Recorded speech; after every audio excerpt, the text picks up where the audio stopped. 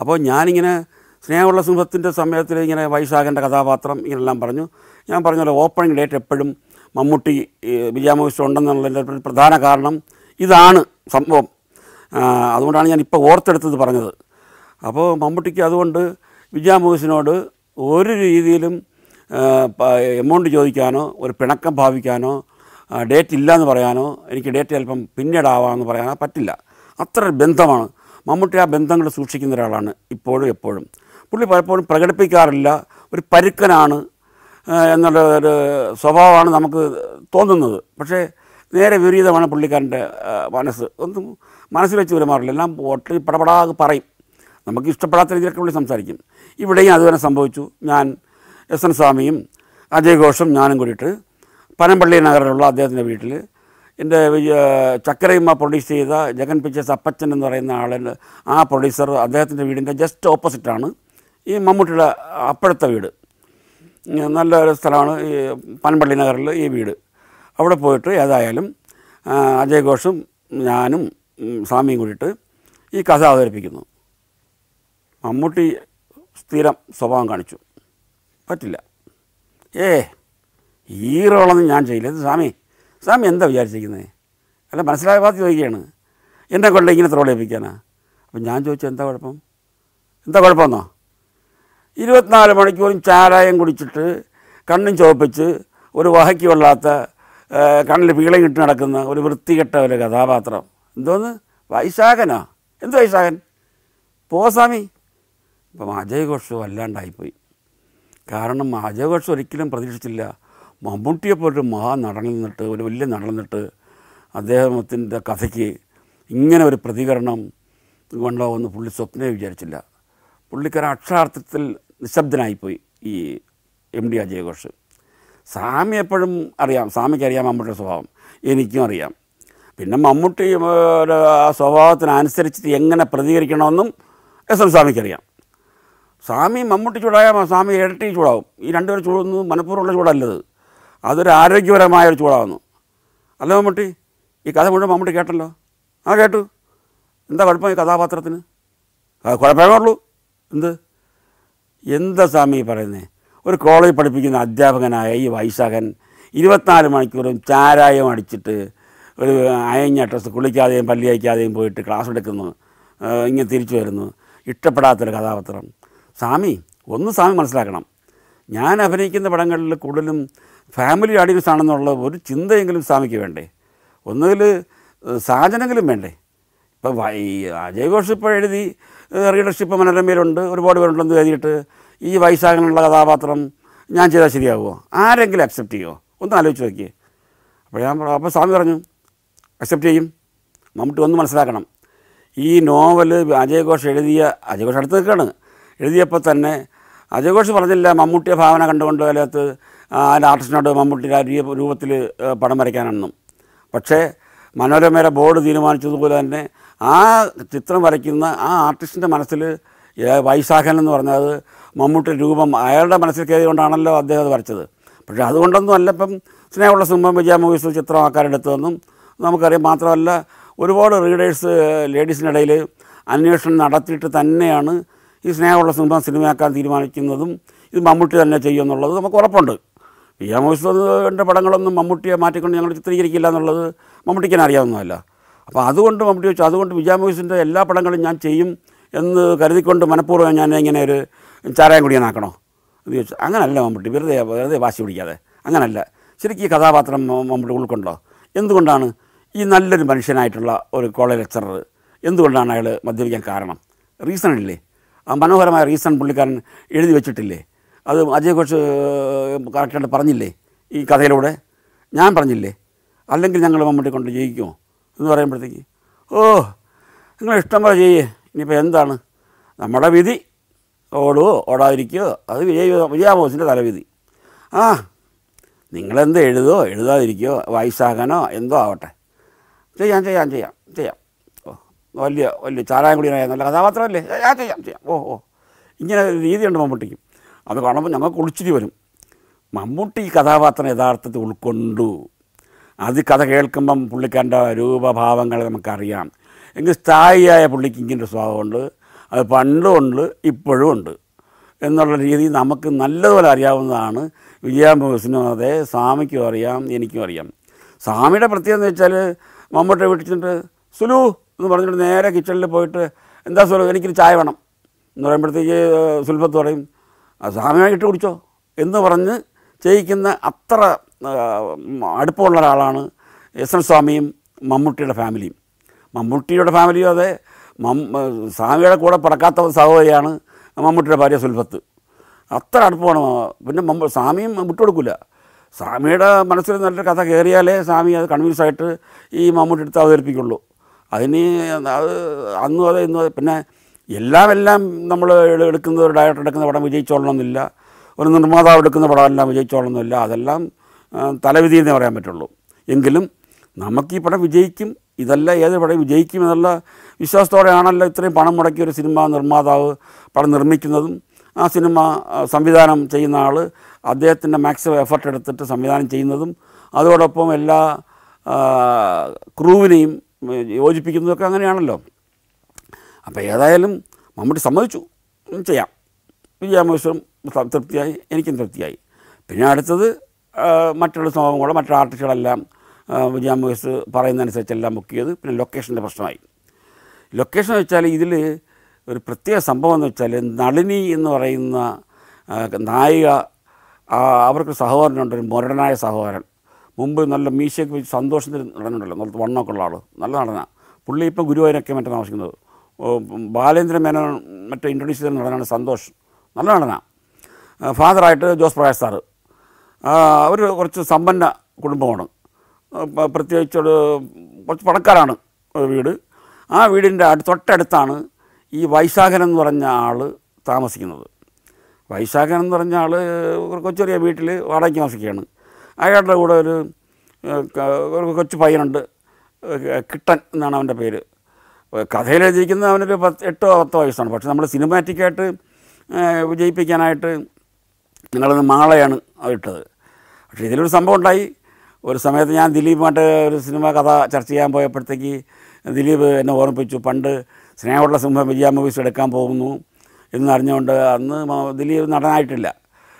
ദിലീപ് എന്ന പയ്യനാണ് മിമിക്രിയൊക്കെ കളിച്ച് നടക്കുന്ന പയ്യനാണ്. ദിലീപ് പറഞ്ഞതാണ് എന്നോട് പാണ്ടിപ്പട എന്ന ഷൂട്ടിങ് പൊള്ളാച്ചിയിൽ നടക്കുമ്പോൾ ഞാൻ ദിലീപിന്റെ ഡേറ്റ് മേടിക്കാനായിട്ട് ഒരു സിനിമയ്ക്ക് വേണ്ടി ഞാൻ അവിടെ പോയി. റാബി മെക്കാട്ടിന്റെ സിനിമയായിരുന്നു. റാബി മെക്കാട്ടിന് എന്റെ സിനിമ എഴുതിയിട്ടുള്ള ആളായതുകൊണ്ട് അവരെ വിളിച്ച് അവിടെ പോയതാണ്. അപ്പോഴും ദിലീപ് എന്നോട് പറഞ്ഞു "ആ, സായ സാറിന് ഓർമ്മയുണ്ടോയെന്ന് അറിയില്ല. ഞാൻ പറഞ്ഞു എന്താണ്? സ്നേഹമുള്ള സിനിമ എടുക്കാൻ പോയപ്പോഴത്തേക്കും വൈശാഖന്റെ വീട്ടിൽ താമസിക്കുന്ന ഒരു പയ്യനുണ്ടല്ലോ കിട്ടണമെന്ന് വിളിക്കുന്ന ഒരു പയ്യൻ. ആ പയ്യന്റെ റോൾ എനിക്ക് കിട്ടുമല്ലോ എന്ന് എഴുതി ഞാൻ സായൻ സാറിന് ലെറ്ററൊക്കെ അയച്ചിട്ടുണ്ടായിരുന്നു. എനിക്ക് സാറ് മറുപടിയൊന്നും അയച്ചില്ല. ഞാൻ ബിജാ മൂവീസിൽ ഫോട്ടോ അയച്ചിരുന്നു. അതിനും എനിക്ക് മറുപടി നോട്ടില്ല പിന്നെ അന്നത്തെ എന്റെ കോലത്തിന് ചിലപ്പം ഇഷ്ടപ്പെട്ടില്ലായിരിക്കും. അപ്പോൾ ഞാൻ പറഞ്ഞു പിന്നെ ഈ ദൈവേ നമ്മൾ സിനിമ എടുക്കുമ്പോഴത്തേക്കും അതിനകത്ത് കോമഡി കഥാപാത്രങ്ങളൊക്കെ വേണമല്ലോ. അപ്പോൾ അതിൽ എന്തെങ്കിലും സ്കോപ്പ് ഉണ്ടോ എന്ന് നോക്കിയിട്ടല്ലേ നമ്മളിത് പ്രധാന കഥാപാത്രങ്ങൾ ഒപ്പം നിൽക്കുകയും വേണം. രസിപ്പിക്കാൻ വേണ്ടിയിട്ട് നമ്മൾ പാട്ടെടുക്കുന്നു സ്റ്റണ്ട് എടുക്കുന്നു കോമഡി രംഗങ്ങൾ എടുക്കുന്നു എന്ന് പറയുമ്പോഴത്തേക്ക് അത് അവിടെ നോക്കുമല്ലോ. പിന്നെ എനിക്ക് ദിലീപിനൊന്നും എനിക്കറിയില്ല. പിന്നെ അന്ന് ഓരോ പടങ്ങൾ വിജയി വിജയിക്കും തോറും നൂറ്റുകണക്കിന് ആയിരക്കണക്കിന് കത്തുകളാണ് കേരളത്തിൽ നിന്ന് പല ഭാഗത്തു നിന്നും വരുന്നത്. ഇത് എല്ലാ കത്തുകളൊന്നും വായിക്കാനുള്ള നോക്കാനുള്ള സമയമൊന്നും മിക്കവാറും ചില ഡയറക്ടർമാർക്കോ ഒന്നും ഉണ്ടാവില്ല. എങ്കിലും ഒന്ന് ഓടിച്ചൊക്കെ നോക്കും ചില ഫോട്ടോസ് നോക്കും. അന്നൊക്കെ നമ്മൾ നോക്കുന്നത് മിക്കവാറും പുതുമുഖങ്ങൾക്ക് കൂടുതലും ചാൻസ് കൊടുക്കുന്ന പടങ്ങളൊന്നും ആയിരിക്കില്ല നമ്മൾ. നമ്മൾ കമ്മ്യൂണലായിട്ട് മമ്മൂട്ടി മോഹൻലാൽ ഇങ്ങനെയുള്ള നടകളും കാര്യങ്ങളൊക്കെ വെച്ചല്ലേ നമ്മളൊക്കെ നോക്കുള്ളൂ. പിന്നെ ഇതിനകത്ത് ഇത് എങ്ങനെ കോമഡി റോൾ ഉൾപ്പെടുത്താൻ പറ്റും നമ്മൾ ആലോചിക്കുമ്പോൾ നമ്മൾ തന്നെ ആലോചിച്ചത്. ഈ നോവലിൽ വായിക്കുന്നവർക്കല്ലേ അറിയാവുള്ളൂ എട്ട് വയസ്സുകാരൻ പയ്യനാണ് അല്ലെങ്കിൽ പത്ത് വയസ്സുകാരൻ പയ്യനാണ് കിട്ടണമെന്നുള്ളത് അപ്പോൾ ഇത് മാളയായാൽ എങ്ങനെയാണ്? കൂടെ എന്തെങ്കിലും കുറച്ച് കോമഡി നമുക്ക് വർക്കൗട്ട് ചെയ്യാമെന്ന് പറഞ്ഞപ്പോഴത്തേക്കാണ് ഞങ്ങൾ ആ മാളയിലേക്ക് എത്തിയത്. മറ്റേ മറ്റുള്ള എല്ലാ വായനക്കാർക്ക് ഓർത്തിരിക്കണമെന്നില്ലെന്ന് പറഞ്ഞു. അതുകൊണ്ടാണ് എന്ന് ഞാൻ പറഞ്ഞു. അല്ല അല്ല സാർ ഞാനിങ്ങനെ പറഞ്ഞുള്ളതേ ഉള്ളൂ എന്ന് ദിലീപ് പറഞ്ഞു. ശരിയാണ്. Malaysia Thailand Tanzania China. Sancharam volume number twelve. Full H ഡിയിലുള്ള ഈ അപൂർവ ദൃശ്യയാത്രാ വിവരണ ശേഖരം സ്വന്തമാക്കാൻ triple nine five triple four triple two എന്ന നമ്പറിലേക്ക് സഞ്ചാരം എന്ന് എസ് എം എസ് ചെയ്യൂ. അങ്ങനെ തിരുവനന്തപുരത്ത് കുമാരപുരത്ത് ഒരു തിയേറ്ററുണ്ട് സിമി തിയേറ്റർ. അവിടെ തിയേറ്ററിലെ മാനേജർ ഈ വിജയ മോസിന്റെ പടങ്ങളെല്ലാം ചാർട്ട് ചെയ്യുമ്പോഴത്തേക്ക് ഒരു മാനേജർ ഉണ്ടായിരുന്നു ആ മാനേജർ അദ്ദേഹത്തെ തിരുവനന്തപുരത്ത് മിക്ക സ്ഥലങ്ങളും അറിയാം. അപ്പോൾ തിരുവനന്തപുരം ലൊക്കേഷൻ എന്ന് ഞാൻ പറയാൻ കാരണം നമ്മൾ പല പല സ്ഥലങ്ങളിലേക്ക് മാറി മാറി ചെയ്യണം. ഒരേ സ്ഥലത്ത് തന്നെ ചെയ്യുന്നത് ഒരു ആവർത്തന വിരസത പോലെ തോന്നിയതുകൊണ്ട് ഈ കഥയ്ക്ക് തിരുവനന്തപുരം ആയിരിക്കും നല്ലതെന്ന് തോന്നി. അങ്ങനെ വിജയ മോയ്സിനും വിജയ മോയ്സിന് പിന്നെ എവിടെ ഷൂട്ട് ചെയ്യാൻ പോകാനും പറ്റും. അവർക്ക് എല്ലാ സ്ഥലത്തും ഡിസ്ട്രിബ്യൂട്ടേഴ്സ് ഓഫീസുകളുള്ളതുകൊണ്ടും തിയേറ്ററുകളിലെ മാനേജറുമായിട്ടുള്ള ബന്ധമുള്ളതുകൊണ്ടുമാണ് ലൊക്കേഷനൊക്കെ കണ്ടുപിടിക്കാൻ അവർക്ക് ഈസി. ഇപ്പോൾ തിരുവനന്തപുരത്ത് സിമി തിയേറ്ററിൽ അവിടെ മാനേജർ തിരുവനന്തപുരംകാരനായതുകൊണ്ട് അവർ പറഞ്ഞിരുന്നു ഞങ്ങൾക്ക് ഇന്ന ഇന്ന രീതിയിലുള്ള വീടുകളൊന്ന് വേണം. ആ ഡയറക്ടറും ആ ഡയറക്ടറും ഞങ്ങളൊക്കെ അത് വരുമ്പോഴത്തേക്ക് ആ ഡയറക്ടർ ചിലപ്പോഴേ ഉള്ളൂ. മിക്കവാറും പ്രൊഡക്ഷൻ കൺട്രോളറുടെ കൂടെ ഉണ്ടാവും. അങ്ങനെ അദ്ദേഹം പല സ്ഥലത്തൊക്കെ നോക്കി വെച്ചിരുന്നു. നോക്കി വെച്ചു ഞാനത് മദ്രാസിലാണ് ഞങ്ങൾ താമസിക്കുന്നത്. ആ സമയമായപ്പോൾ ഞാൻ മദ്രാസിൽ നിന്ന് വന്നു. വന്നിട്ട് എന്നെ കുറേ സ്ഥലങ്ങൾ കൊണ്ട് കാണിച്ചു. വീട് ഒരു വലിയ വീടുണ്ടെങ്കിൽ തൊട്ടടുത്ത് ഈ പറഞ്ഞ മാതിരി ചെറിയ വീടുണ്ടാവില്ല. എനിക്ക് കമ്പൈൻ ഷോട്ട് എടുക്കണം. ഇപ്പോൾ നളിനി നോക്കുമ്പോഴത്തേക്ക് മമ്മൂട്ടി കാണണം. മമ്മൂട്ടി ചാരായം കുടിച്ചിട്ട് അവിടെ അലസനായിട്ട് ആ ഉമ്മറത്തിരിക്കണം. അത് കണ്ടിട്ട് അവൾക്ക് ഒരു അവജ്ഞ തോന്നണം. ഇയാൾ വൈശാഖനെ കൊണ്ട് മൈൻഡ് ചെയ്യില്ല. എപ്പോഴും രാത്രിയൊക്കെ ഒച്ച വയ്ക്കും. അത് ജോസ് പ്രകാശ് സാറിന്റെ പണക്കാരന്റെ അദ്ദേഹത്തിന്റെ വീട്ടിൽ മണലിനിക്കും അതേ മകനൊന്നും ഇഷ്ടപ്പെടില്ല. അവന് മിക്കവാറും വഴക്കുണ്ടാവണം. അങ്ങനെ ഒരു ഇറിറ്റേറ്റിംഗ് കഥാപാത്രമായിട്ടാണ് ഈ ചാരായൻകുടിയൻ ഈ വൈശാഖൻ. അതിലേക്കുള്ള കാരണങ്ങളുണ്ട് കേട്ടോ. അപ്പോൾ അതുകൊണ്ടാണ് നേരത്തെ കഥ പറഞ്ഞപ്പോൾ മമ്മൂട്ടിക്ക് ദേഷ്യം വന്നത്. ഏതായാലും അങ്ങനെ ഒത്തിരി ഒത്തിരി വീടുകളെ തിരുവനന്തപുരത്ത് മുഴുവൻ നോക്കി നോക്കി നടന്നിട്ടപ്പോൾ അപ്പം ഞാൻ ഒരു സംഭവം പറഞ്ഞു. എനിക്ക് എന്റെ ഒരു ഓർമ്മയിൽ കുമാരപുരത്ത് എന്നൊരു വീടുണ്ട് എന്ന് പറഞ്ഞു. അപ്പോൾ ഞാൻ പറഞ്ഞു അല്ല ഞാനല്ല പറഞ്ഞത് അവിടുത്തെ ബീരാൻ ബീരാൻ എന്നാണ് ആ മാനേരെ പേര് ബീരാൻ സിമിയുടെ മാനേജർ അപ്പോൾ ബീരാൻ ചോദിച്ചു ഏതാണ്? അപ്പോൾ അതായത് ഞാൻ പറഞ്ഞു ഈ കുമാരപുരത്ത് അങ്ങോട്ട് പോകുമ്പം ഒരു നമ്മുടെ നോവലിസ്റ്റ് അയ്യനത്തില്ലേ അയ്യനത്ത് നോവലിസ്റ്റ് അദ്ദേഹത്തിന്റെ വീട്ടിന്റെ അടുത്ത് എന്റെ ഒരു ബന്ധു അതായത് എന്റെ ഫാദറിന്റെ സഹോദരിയുടെ മകൻ ഷഹാബുദ്ദീൻ പുള്ളി ഐ എസ് ആർ ഒയിൽ വർക്ക് ചെയ്യുന്ന ഒരു എഞ്ചിനീയറാണ് ഞാൻ മുമ്പ് എപ്പോഴോ ഒരിക്കലും അവിടെ പോയ എനിക്ക് ഓർമ്മയുണ്ട്. ഒരു നല്ല തെറ്റില്ലാത്തൊരു വീടാണ്. ആ വീടിന്റെ ഒരു ഒരു കുറച്ച് മുകളിലായിട്ടാണ് ആ വീട്. താഴെ ഒരു ചെറിയ വീടും അന്ന് കണ്ടതായിട്ട് ഞാൻ ഓർക്കുന്നു. അപ്പോൾ ബീനാൻ ചോദിച്ചു നമ്മുടെ സ്റ്റേറ്റ് ഇന്ത്യ കോളനിയിലാണോ? എന്ന് ചോദിച്ചു. ഞാൻ പറഞ്ഞു സ്ഥലം എനിക്ക് ഇങ്ങനെയാണ് എനിക്ക് ശരിക്കും അറിയില്ല. ഒരിക്കൽ പണ്ടങ്ങാണ്ട് പോയിട്ടുള്ളതേ ഉള്ളൂ. അത് നിങ്ങളുടെ ഈ തിയേറ്ററിന്റെ ഇവിടെ നിന്ന് ഇങ്ങനെ പോകാൻ താഴേക്ക് പോകുമ്പോൾ റോഡുണ്ട് ആ റോഡിന് വലത്തോട്ട്. അപ്പോൾ ആ- അപ്പോൾ സ്റ്റേറ്റ് ഇന്ത്യ കോളനി ആയിരിക്കും. ഞാൻ അതിന്റെ ഡെഡ് എൻഡാണ് അയ്യനത്ത് സാർ എന്ന് പറഞ്ഞപ്പോൾ അയ്യനത്ത് സാറിന്റെ വീട് എനിക്കറിയാം. അയ്യനത്ത് സാറിന്റെ തൊട്ടടുത്താണ് അയൽപക്കമാണ് ഈ പറഞ്ഞ എന്റെ കസിന്റെ വീട് ഷഹാബുദ്ദീൻ. അദ്ദേഹത്തിന്റെ വീടെന്ന് പറഞ്ഞു. അപ്പോൾ നമുക്ക് പോയി നോക്കാം എന്ന് പറഞ്ഞു. അപ്പോൾ ഞാൻ പറഞ്ഞു ഇതാണോ? എന്നുള്ളത് നിങ്ങളൊന്ന് നോക്കി വയ്ക്കേ എന്ന് പറഞ്ഞു. ഏതായാലും ബീരാന് ഞങ്ങളവിടെ അന്ന് തന്നെ ഞാൻ ഹോട്ടൽ റൂമിൽ വന്നു. ബീരാന് നേരെ വിളിച്ചു പറഞ്ഞു ആ, സായൻ സാർ പറഞ്ഞ വീട് കറക്റ്റാണ്. സാറ് ഷഹാബുദ്ദീൻ എന്ന് പറഞ്ഞ ആളിന്റെ വീടാണ്. അദ്ദേഹത്തിന്റെ ഭാര്യ എന്ന് പറയുന്നത് നമ്മുടെ തങ്ങളൊഞ്ഞ് മുസ്ലിയാരുടെ ഫാമിലിയിൽപ്പെട്ട അവരാണ് അതിന്റെ അദ്ദേഹത്തിന്റെ വൈഫ്. അവരങ്ങനെ ഷൂട്ടിങ്ങിനൊന്നും കൊടുക്കുകയൊന്നുമില്ല. കാരണം ഐ എസ് ആർ എൽ എഞ്ചിനീയറാണ് അവർ ആ വീട് പ്രത്യേകിച്ച് ലോണും കാര്യങ്ങളൊക്കെ നോക്കിയിട്ട് ചെടിക്ക് ചെടിയെല്ലാം നല്ലതുപോലെ നോക്കി വെച്ചിരിക്കുന്ന ഒരു വീടാണ്. അങ്ങനെ അവർ വീടൊന്നും ഷൂട്ടിങ് കൊടുക്കില്ല എന്ന് പറഞ്ഞു. അപ്പോൾ ഞാൻ ചോദിച്ചു ഷഹാബുദ്ദീന്റെ വീടാണോ? ആ അതെ ഷഹാബുദ്ദീൻ സാറിന്റെ വീടാണ്. ഷഹാബുദ്ദീൻ എന്റെ ഇന്നാരാണ്? എങ്ങനെ? ഞാൻ എന്റെ ബന്ധം പറഞ്ഞു. ഞാൻ എന്റെ ഫാദറിന്റെ സഹോദരിയുടെ മകനാണ് ഷഹാബുദ്ദീൻ. പണ്ട് ഞാൻ പോയിട്ടുണ്ട്. ഇപ്പം ഞങ്ങൾ തമ്മിൽ കമ്മ്യൂണിക്കേഷനൊന്നുമില്ല. എന്റെ പേര് ആണ് സംവിധാനം എന്നെല്ലാം പറഞ്ഞു അതും പറഞ്ഞില്ല. ഷൂട്ടിങ്ങിന് കൊടുക്കുമോ എന്ന് ചോദിച്ചുകൊണ്ട് അവർ സമ്മതം അല്ല എന്ന് അറിയിച്ചാണെന്ന് പറഞ്ഞു. പറഞ്ഞു, നമുക്കൊന്ന് പോകാം. ഏതായാലും പ്രൊഡ്യൂസർ ജോബ്ലിയും സേവിച്ചനും ഞാനും ബീരാനും നേരെ ഈ പറഞ്ഞ ഷഹാബിന്റെ വീട്ടിൽ പോയി. നേരെ എന്ന ഡെഡ് എൻഡാണ്. ഡെഡ് എൻഡ് ഷഹാബിന്റെ വീട് അല്പം പൊക്കപ്പുറത്താണ്. സ്നേഹമുള്ള സിംഹം എന്ന സിനിമ കണ്ടവർക്ക് ഓർമ്മ വരും. നല്ലൊരു വീടാണ്. ഒരു മതിലൊക്കെ ഇട്ട് നല്ല നല്ല ഡിസൈൻഡായിട്ടുള്ള വീട്. വലിയ ബഹളങ്ങളൊന്നും ഇല്ലാത്ത നല്ലൊരു നല്ലൊരു വീട്. കണ്ടാൽ നല്ല ഭംഗി തോന്നുന്ന ഒരു വീടാണത്. കുറേ പണം വാരിക്കോയി ചെയ്യുന്ന പല പല സൗധങ്ങൾ നമ്മൾ കണ്ടിട്ടുണ്ട്. ഞാൻ അതൊന്നും കുറ്റപ്പെടുത്തുകയല്ല. ഇതൊരു പ്രത്യേകിച്ചും ഒരു എഞ്ചിനീയറുടെ ഭാവന ഒരു വീട്ടമ്മയുടെ ഭാവനയൊക്കെ അതിനകത്ത് കാണാം ആ വീടിന്. കാർ പോർച്ച് എന്ന് പറയുന്നത് താഴെയാണ്. താഴെ കാർ പോർച്ച് കൂടെ നടന്ന് സ്റ്റെപ്പ് കയറി വീട്ടിൽ കയറാം. രണ്ട് എൻട്രൻസ് ആണ്. കാർ നിർത്താൻ താഴെയും. അങ്ങനത്തെ വീട് പ്രത്യേകിച്ച് ആ കുന്നിന്റെ ഇടിച്ച് താത്തിട്ട് അല്ലാതെ ആ കുന്ന് നിലനിർത്തിക്കൊണ്ട് ചെയ്യുന്ന ഒരു സൈറ്റുള്ള വീട് നല്ല ഭംഗിയുള്ള വീട്. ഭാഗ്യ തൊട്ട് താഴെ ഒരു കൊച്ചു വീടുമുണ്ട്. ആ വീട്ടിൽ ഒരാളെ താമസിക്കുന്നുള്ളൂ. അദ്ദേഹത്തിന്റെ ബന്ധുക്കളെല്ലാം വേറെ എവിടെയോ ആണ് അപ്പോൾ ഏതായാലും ഞാൻ ചെന്നു. ഷഹാബുദ്ദീനെ എന്നെ കണ്ടു. ഷഹാബുദ്ദീന്റെ അടുത്ത് പറഞ്ഞു എന്താണെന്ന് ചോദിച്ചു? ഞാൻ പറഞ്ഞു ഇങ്ങനെ സിനിമകളുണ്ട് അപ്പോൾ എന്നോട് ചോദിച്ചു സിദ്ദീഖിന് വേണ്ടിയിട്ടാണോ ഈ വീടിന് വേണ്ടി വന്നത്? അപ്പോൾ അവരൊക്കെ നമ്മുടെ കുടുംബക്കാരെ എന്നെ വിളിക്കുന്നത് സിദ്ദീഖ് സിദ്ദീഖ് എന്നാണ്. സിനിമയിലെ പേരാണ് സാജൻ. അപ്പോൾ കുടുംബത്തിലുള്ള ബാക്കി ആൾക്കാരും സിദ്ധിക്കുന്നേ വിളിക്കുള്ളൂ. സിനിമയിലും മറ്റുള്ള ആൾക്കാരാണ് വിളിക്കുന്നത് അവർക്ക് സിദ്ധിക്കുന്നുള്ള പേര് അറിയില്ല. സിദ്ധിക്കാണോ ഈ പടത്തിന് സംവിധായകൻ? ഞാൻ പറഞ്ഞു അതെ. അത് ബീരാൻ പറഞ്ഞില്ല എന്ന് പറഞ്ഞു. അപ്പോൾ ബീരാൻ ചോദിച്ചു നിങ്ങൾ തമ്മിൽ ഇങ്ങനെ ഒരു ബന്ധമുണ്ടെന്നുള്ളത് എനിക്ക് എനിക്കങ്ങനെ അറിയാം? ഇപ്പോൾ വിജയ മൂവീസ് ഡിസ്ട്രിബ്യൂട്ടേഴ്സ് അവരുടെ പടങ്ങളാണ് ഞങ്ങളുടെ ഈ തിയേറ്റർ കളിക്കുന്നത് സെമി തിയേറ്റർ കളിക്കുന്നത്. അങ്ങനെ അവരിങ്ങനെ പല വീടുകളും നോക്കാൻ പറഞ്ഞപ്പോഴത്തേക്ക് ഇങ്ങനെ വീടുണ്ടെന്ന കാര്യം അയ്യനത്തെ സാറിന്റെ വീടിന്റെ അടുത്താണല്ലോ എന്ന് പറഞ്ഞപ്പോഴത്തേക്ക് ഞാനിങ്ങനെ ഒന്ന് ചോദിച്ചതാണ്. അപ്പോൾ നിങ്ങൾ അന്നേരം പുള്ളിക്കാരത്തി ഉണ്ടായിരുന്നുള്ളൂ. നിങ്ങൾ ഷൂട്ടിംഗ് കൊടുക്കില്ല എന്നൊക്കെ പറഞ്ഞു. അതുകൊണ്ടാണ് ഞാനത് ഒന്ന് പറഞ്ഞു പറഞ്ഞു. അപ്പോൾ പുള്ളിക്കാരന്റെ വൈഫും വന്നിരുന്നു. അപ്പോൾ അവർ പറഞ്ഞു ഷൂട്ടിങ്ങിനൊന്നും ഞങ്ങൾ കൊടുക്കില്ല. നിങ്ങൾ വീട് കാണാൻ വേണ്ടി വന്ന് കണ്ടു പോയെന്നേ ഉള്ളേ. ഷൂട്ടിങ്ങിനൊക്കെ കൊടുത്താൽ ആൾക്കാർ അതൊക്കെ അവിടെ കെട്ട് ഉരച്ച് നാ- അങ്ങ് വലിച്ച് ഞങ്ങളുടെ ഞങ്ങളുടെ ഇത്രയും രീതിയിൽ സൂക്ഷിക്കുന്നൊരു വീട് സിനിമ ഷൂട്ടിങ്ങിന് കൊടുത്താലൊന്നും ശരിയാവില്ല. അത് അതുകൊണ്ടാണ് പറഞ്ഞതെന്ന് പറഞ്ഞു. അപ്പോൾ ഷഹാബുദ്ദീനും പറയാനും നോക്കി ചിരിച്ചിട്ട് പറഞ്ഞു.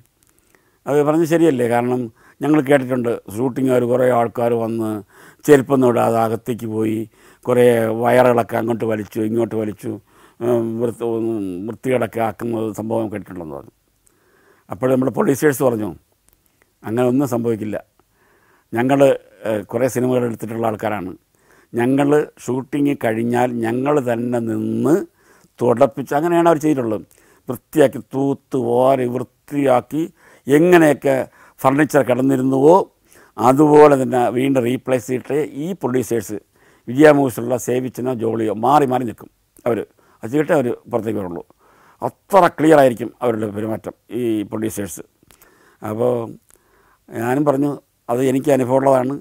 പിന്നെ ഒരു ഹമ്പിൾ റിക്വസ്റ്റാണ് ഞാൻ ഒരുപാട് സ്ഥലത്ത് വീടുകൾ നോക്കിയിട്ടും ഇങ്ങനത്തെ കഥ കഥയ്ക്ക് പറ്റിയ ഇത് സംഭവിച്ചിട്ടില്ല അപ്പോൾ ഷഹാബുദ്ദീന്റെ വൈഫും ഈ കഥ വായിച്ചിരിക്കുന്നു. വൈശാഖനും ഇതൊക്കെ. അവരുടെ മനസ്സിലും മമ്മൂട്ടിയായിരിക്കും നല്ലതെന്ന് തോന്നിയിരുന്നു. അപ്പം ഞാൻ പറഞ്ഞു ഈ കഥ വായിച്ചിട്ട് അപ്പോൾ അപ്പോൾ അവർ പറഞ്ഞു ആ ഞാനും വായിച്ചിട്ടുണ്ട്. കഥ- വായിക്കുമ്പം ഈ വൈശാഖനായിട്ട് നമ്മളൊക്കെ തോന്നുന്നത് മമ്മൂട്ടി തന്നെയാണ്. ഞാൻ പറഞ്ഞത് അങ്ങനെയാണ്. മമ്മൂട്ടി താഴെ താമസിക്കുന്നു. ഇവിടെ നളിനി അച്ഛൻ ഇതൊക്കെ പറഞ്ഞപ്പം ഏതായാലും ഭാര്യയും ഭർത്താവും കൂടെ ഒരു ധാരണയിലെത്തി ഷൂട്ടിങ്ങിന് തരാം. ഓ ഇതിൽ പറഞ്ഞ ഞങ്ങൾക്ക് സന്തോഷമില്ല. അങ്ങനെ ഏതായാലും എത്ര ദിവസം വേണ്ടി വരുമെന്ന് ചോദിച്ചു. ഞാൻ പറഞ്ഞു ഈ കഥയുടെ പ്രധാന ഭാഗം എന്ന് പറയുന്നത് മമ്മൂട്ടിയുടെ കൊച്ചെറിയ വീടാണ്. അപ്പോൾ ഇടയ്ക്കും മുറയ്ക്കുമൊക്കെ നളിനി മുറ്റത്തു നിന്ന് നോക്കുന്നതും കാണുന്നതും പിന്നെ നളിനിയുടെ സഹോദരനായ സന്തോഷ് വഴക്കുണ്ടാക്കുന്നതും ജോസ് പ്രകാശ് സാറ് കാറിൽ കയറി പോകുന്നത് അങ്ങനെ കുറച്ച് സീൻസൊക്കെ വരും. ഇവിടെ ഈ കൂടുതൽ ഭാഗങ്ങൾ താഴെയാണ് ഞങ്ങൾക്ക് വർക്ക്. ഇടയ്ക്കിടയ്ക്ക് ഇവിടെ വേണ്ടി വരും പറഞ്ഞു. എന്നാലും എത്ര ദിവസം വേണ്ടി വരും എന്ന് ചോദിച്ചു. ഞാൻ പറഞ്ഞു ഒരു രണ്ട് മൂന്ന് ദിവസം. മൂന്ന് ദിവസമൊക്കെ വേണോ എന്ന് ചോദിച്ചു. ഞാൻ പറഞ്ഞ് കഴിവും വേഗം തീർക്കാം. ഏതായാലും പെർമിഷൻ കിട്ടി. പെർമിഷൻ കിട്ടി ഷൂട്ടിംഗ് തുടങ്ങി. ഈ മൂന്ന് ദിവസം എന്നുള്ളത് ഇല്ല കരിമ്പും വിളയിൽ ആന കയറിയ മാതിരിയാണ്. എനിക്കാണെങ്കിൽ ഈ ആംഗിൾ അടുത്തടുത്ത് വീട് കിട്ടിയത് കൊണ്ട് കംപ്ലീറ്റ് അവരുടെ ഷോട്ടുകൾ ഈ ഒരേ ഫ്രെയിമിൽ വരുന്ന രീതിയിൽ അവിടെ അവർ മുകളിൽ കൊണ്ട് ക്യാമറ വെച്ചിട്ട് നളിനി നിൽക്കുമ്പോൾ നളിനിയുടെ സെക്ഷനിൽ താഴെ വൈശാഖൻ നിൽക്കുന്നത്. താഴെ ക്യാമറ വെച്ചിട്ട് മുകളിലേക്ക് അങ്ങനെ നല്ല നല്ല ആംഗിളുകൾ ഈ അടുത്തടുത്ത് വീട് കിട്ടിയതുകൊണ്ട് നല്ല രീതി കിട്ടി. ആനന്ദക്കുട്ടനാണ് ക്യാമറയും. അങ്ങനെ കുറേ അധികം ആ വീടിന്റെ എക്സ്റ്റീരിയറും പിന്നെ മാത്രമല്ല നളിനി ബെഡ്റൂമിൽ നിന്നിട്ട് താഴെ രാത്രി വൈശാഖനെ കാണുന്ന ഒരു ഷോട്ട് എടുത്താൽ കൊള്ളാമെന്ന് എനിക്ക് തോന്നി. അവരെ മാസ്റ്റർ ബെഡ്റൂമിൽ കയറി മോഡൽ മാസ്റ്റർ ബെഡ്റൂമിൽ കയറി അവിടെ ക്യാമറ ട്രോളിങ് ഇട്ടിട്ട് നേരെ ഈ അവരെ പുറത്തേക്ക് നോക്കുമ്പം താഴെ മുറ്റത്ത് ഉലാത്തിക്കൊണ്ട് നിൽക്കുന്ന മമ്മൂട്ടി. അത്രയ്ക്ക് വരെ അവർ സൗകര്യം ചെയ്യും എന്ന് പറഞ്ഞാൽ ഞങ്ങൾ അവർ ആ വീട്ടിൽ അവർ സ്വന്തക്കാരായിട്ടുള്ള അവർ വേറെ ഒരു കൊച്ചു മുറിയിലേക്ക് ഒതുങ്ങി ഷൂട്ടിങ്ങിനായിട്ട് കയറിയ ഞങ്ങൾ അവിടുത്തെ വീട്ടിന്റെ മുതലാളിമാരുമായി പിന്നെ എന്തായാലും അവർക്ക് സന്തോഷമായി. കാരണം ഞങ്ങളെല്ലാം നമ്മുടെ പ്രൊഡ്യൂസേഴ്സ് ഈ പറഞ്ഞ പോലെ തന്നെ ഷൂട്ടിംഗ് തീരുമ്പോഴത്തേക്ക് തൂത്ത് വൃത്തിയാക്കി തുടച്ച് കറക്റ്റായിട്ടാണ് ചെയ്തിരുന്നത്. അതുകൊണ്ട് അവരുടെ സഹകരണവും ഈ സിനിമ ഷൂട്ടിങ്ങിന് ഒരുപാട് ഒരുപാട് ഉപകാരം ചെയ്യുന്നുള്ളതാണ് പിന്നെ എന്റെ സോങ് എടുത്തത് സിംഹമായിട്ട് സിംഹത്തിന്റെ കൂട്ട് കിടക്കുന്ന മമ്മൂട്ടി നമ്മളെ സൂവിന്റെ ബംഗ്ലാവ് സൂ പെർമിഷൻ വാങ്ങിച്ചു. സിംഹത്തിന്റെ കൂട്ടിൽ നമ്മൾ സിംഹത്തിന്റെ ഷോട്ട് എടുത്തു. ആ സിംഹത്തിനെ അടുത്ത കൂട്ടിലേക്ക് മാറ്റിയിട്ട് മമ്മൂട്ടി അകത്തേറ്റിട്ട് സിംഹത്തിനെ പോലെ കാണിച്ചു. അതാണ് സ്നേഹമുള്ള സിംഹം. അങ്ങനെ സോങ്ങിൽ ഇടയ്ക്ക് ആ കട്ടൊക്കെ കാണിച്ചു. പിന്നെ സൂമിലും അവിടെ മറ്റുള്ള പരിസരങ്ങളിലും ഒക്കെ തിരുവനന്തപുരത്ത് വിവിധ ഭാഗങ്ങൾ റോഡ് പിന്നെ മാർക്കറ്റ് ഒക്കെ എടുത്തിട്ട് അതിമനോഹരമായിട്ട് നമ്മൾ എന്ത് മനസ്സിൽ കരുതിയോ ആ രീതിയിൽ നല്ല രീതിയിൽ സ്നേഹമുള്ള സിംഹം എന്ന സിനിമ ചിത്രീകരിക്കാൻ സാധിച്ചു. അതും ഞാൻ പറയാതെ തന്നെ കണ്ടവർക്കറിയാം. ഇപ്പോഴും സ്നേഹമുള്ള സിംഹത്തിന്റെ ഡയറക്ടറാണ് സാജൻ എന്ന് പറയുമ്പം ഇപ്പോഴും എന്നോട് എന്നോട് ആൾക്കാർക്ക് ഇഷ്ടമാണ്. ഓ സ്നേഹമുള്ള സിംഹം ചെയ്ത ഡയറക്ടറാണോ എന്ന് പറഞ്ഞ് ചോദിക്കുന്ന ഓർമ്മയിൽ ചോദിക്കുന്ന രീതിയിലുള്ള പടമായിരുന്നു അത്. ഏതായാലും പിന്നൊരു പ്രശ്നം വെച്ചാൽ മമ്മൂട്ടി ഇങ്ങനെ സ്നേഹത്തോടെ വളർത്തുന്ന ഈ കുട്ടിയെ കൊണ്ടുപോകാനായിട്ട് യഥാർത്ഥ പിതാവ് വരുന്നത് ഒരു നല്ലൊരു കഥാപാത്രമായിട്ട് വേണം. അപ്പോൾ ഞാനൊരു നിർദ്ദേശം വെച്ചു. സംവിധായകന്റെ എപ്പോഴും ആഗ്രഹമാണല്ലോ.